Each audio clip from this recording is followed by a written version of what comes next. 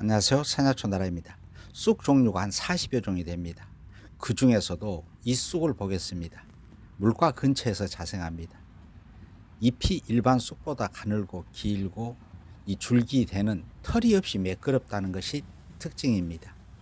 그리고 쑥 종류 중에서 이 줄기대와 연한 뿌리까지 나물러 먹는 쑥인 바로 물쑥입니다.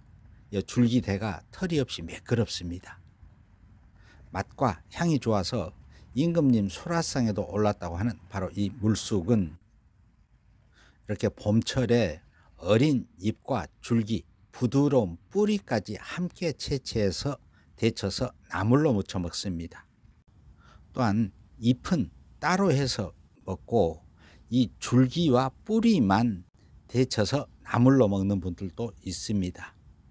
또한 볶아서 먹기도 하고 초고추장 무침으로 해서 예, 먹기도 합니다.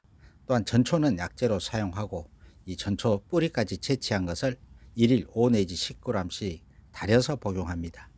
이 물쑥은 여기 본 것처럼 이렇게 잎이 갈라진 물쑥도 있고 또 잎이 갈라지지 않는 외잎 물쑥도 있습니다. 둘 다 같이 식용, 약용합니다. 이 물쑥은 단백질, 비타민, 탄수화물 등 영양성분이 풍부하고 입맛을 돋구고 춘곤증이나 각종 질병을 예방합니다. 간이나 혈액순환, 위장, 면역력, 항종양, 신장, 당뇨, 해독, 살균, 소염, 관절, 부인성 질환 등 다양한 효능이 있습니다. 특별한 부작용은 없습니다.